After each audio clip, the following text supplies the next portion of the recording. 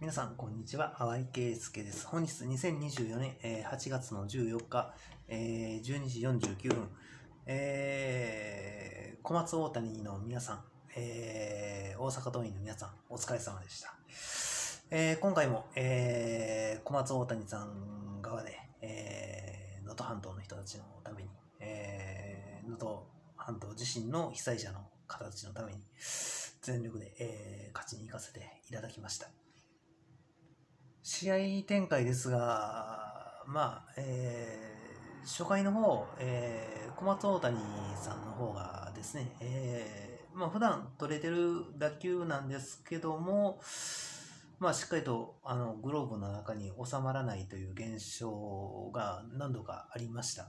で、これは何かあるなと正直思いました。で、今までのそのスポーツの結果、えー他の種目もそうなんですけども、同じような現象って後で相手に起きるんですよ。だそこを最初の方踏ん張りどころだなっていうのは感じていました。そしてあとは野球の仕方ですね。やっぱり、あのー強豪と、強豪校として通っている大阪桐蔭さん相手に野球の進め方、0対0という、まあ、内容の中で、えーしっかりとバントを、えー対応してですね、まあ、あの中には、えーまあえー失敗しているケースのものもありましたけども、もう基本的にも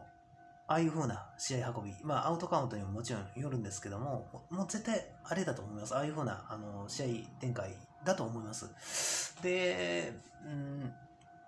正直その大阪桐蔭さんの敗因として、えー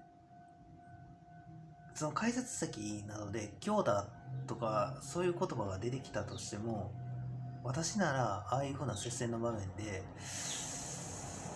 その打つことに執着はしないです、えー特にあのまあ低めのボールとかをある程度は、えー捉えて取ったりとかはしてるんですけども飛んでる場所が、え左中間だったりするわけじゃないですか。やっぱりあの場所ってなかなかホームランならないんですよ距離的に。で台風消滅の天の神様へのお祈りもしますからあのやっぱりあの毎日日々、えーこう風とってます。でこれは日本全国的にも取ってますしあの世界中でも対応していますでそういった中で風のある中で、えー距離出るかって言ったらなかなか出ないんですよだから、あのーその辺のところが、あの小松大谷さんの方は、しっかりと分かってらっしゃったと。えーとちょっとお名前間違えてたら申し訳ないんですけども、谷選手でしたっけ？左バッターの方で、えーバッティング、えー非常に良かったです。あの、狙っていったらいい場面ですのところで、しっかりと単打を狙っていってるんですよ。ヒットゾーンに。長打狙いじゃなくて、しっかりと的確にヒットを打つ。そこに集中してる。そこはすごく良かったです。あの、展開を考えたときに、一点一点しっかりと積み上げていくと。で、えーしっかりと自分たちは守ると。まあ、そういう風な野球が、えーしっかりとできたと。まあ、これが、あの今日の試合の大きな勝因だと思います。まあ、あのまあ、大阪桐蔭さんには申し訳ないんですけども、えーまあ、被災地の形の件もありますし、そこはもう全力で、えー取り組ませていただきました。あとはそうですね、えー大阪桐蔭さんのピッチャーの方が、こう、スポ抜けの球が1球あったと思うんですけど、大きくこう、まあ、フォまあ、フォークボールだと思うんですけども、えーまあまあ、握力的なところなのか、こう、指からこう、外れたのか、力が抜けたのか、まあ、すごくこう、すっぽ抜けたケースがありましたけども、その後、小松大谷さんのピッチャーの西川投手も、えーああいうふうにすっぽ抜け、まあ、バッターの、右バッターの方の、えー後ろ、えー大きく飛んでいく現象。これはプロに入ってからもあるんですよ。まあ、これは、あのーこの世の中の、あの不思議なところで、まあ、あのその辺をどううまく対応していくかっていうことになるんですよ。で、あとは、まああの、ワイルドピッチともパスボールともなかなか言いづらいボールでしたけども、あの、まあ、後ろにボールが、フォークボールだとは思いますけども、あの、まあ、それるというケースですね。まあ、やっぱり今の時代、フォークボールを対応しますから、やっぱりプロの世界でもあります。あれだけ投げていたら、全部が全部やっぱりキャッチャーの方が取れるかって言ったら、それはそれでっていう部分がどうしてもありますんで、まあその辺のところが、まああの、野球の醍醐味でもありますし、勝負しに行かなきゃならない部分では、そのフォークボールを、まあ最後まで、えー、使用していた大阪桐蔭さんのピッチャーの方も、まあその辺のところはもう腹くくってるなと、覚悟を持って、えー、試合してるなと。あの、まあ、バッテリー感だと思いますけども、まあ、それは、えー、見ていて感じました。そこもあの怖があんまり怖がりすぎると今度バッターからするとカットボールとストレあストレートを狙えばいいわけじゃないですかでカウント整えられたらもうほぼほぼヒット狙い打たれますでだからやっぱりそこもあのー、後ろにボールがそれでいくことを恐れずにフォークボールを投げ込むしかない時は投げ込むしかない。まあもちろん場面、カウント、いろいろ状況ありますけども、まあその辺のところは、うん、頑張ってらっしゃったなって、えー、思います。まあ、しかし、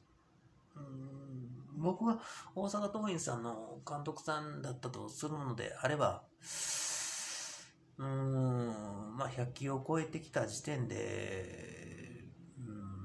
ピッチャーを、まあ多分交代してます。まあこれはやっぱりマウンドで立たれてる方、特に時間帯もそうですね、あの、まあ、先ほど試合終わった時刻なんですけども、ちょうど、えー、昼ぐらいで日中で気温が、えー、朝の8時からの試合開始の試合と比べると、もう気温が上がってしまってる状態で、えー、まあ、ピッチャーの方もなかなかその試合開始の頃と比べると、え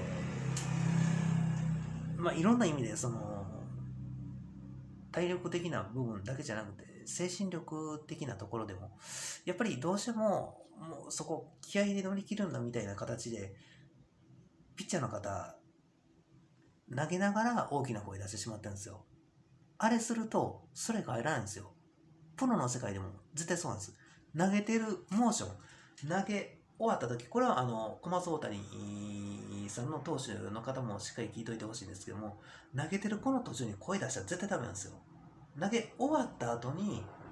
声出したらまだいいんですけども、投げてる途中に声出したら絶対コントロールくるんですよ。やり投げでも何でも同じです。他の競技でも。声出すことに多分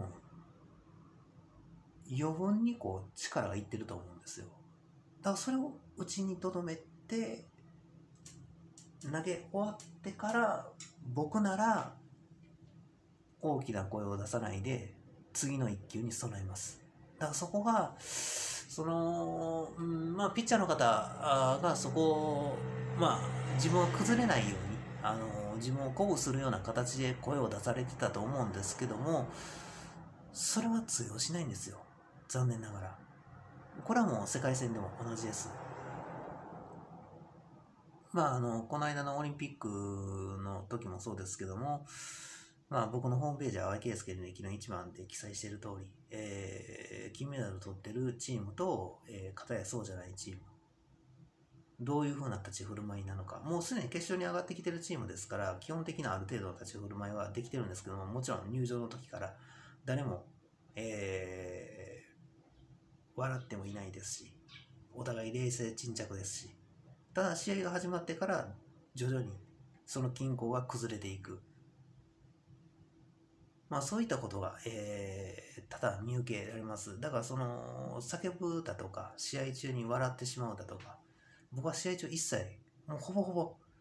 1年間百何十試合していて、試合中に笑うことまずありません。だからもし、選手等が笑っていたら、僕はすぐにどう対応してるかって言いますと、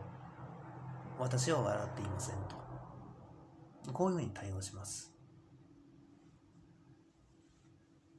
まあ、その辺のところで、うん、今後の、えー、野球で、えー、まあ、対応していただけたらなと思います。だからまあ、まあ、ある程度、あの、小松大谷さんの、方たちも、その、ちょっと笑いそうになり始めたら、もう心の声で送ってます。集中しましょうと。その笑い始めてる時って集中力を落ちてしまってるんですよ。次の一球、相手はどうしてくるかなとか、どういう風な球を投げてくるかなとか、今までどうだったのかなとか、頭の中の整理整頓、そのことにだけとにかく集中する。で、その、特に気をつけていただきたいのは、自分たちがリードをし始めた時に、その、点数を取れてリードをし始めた時ですね、その時に、硬い自分でいられるかどうかっていうのもその辺なんですよ。生き方もそうなんですけども、そういうふうなところで、えー、笑ってしまいそうになるところを笑顔になってしまう、な、しまいそうなところをきちっと勝負師になると。まあそういうふうなところですね。監督さんは、えー、それがしっかりとできてましたし、まあ、これ最初の方のイニング、これはお互い粘り合いだなということを、えー、監督さんの方はすごくよく分かってらっしゃったなと思います。まあ、野球の仕方は、もうバントでしっかりとランナーを送ってっていう、その的確な野球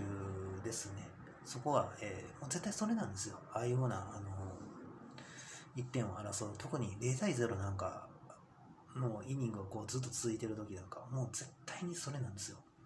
もう空気展開とかで見たらもう絶対わかります。場の雰囲気。訂正、えー、雰囲気です。言い間違えました。訂正、雰囲気です。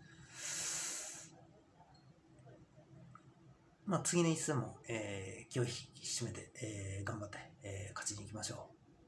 う。大阪桐蔭の皆さんも、えー、お疲れ様でした。以上です。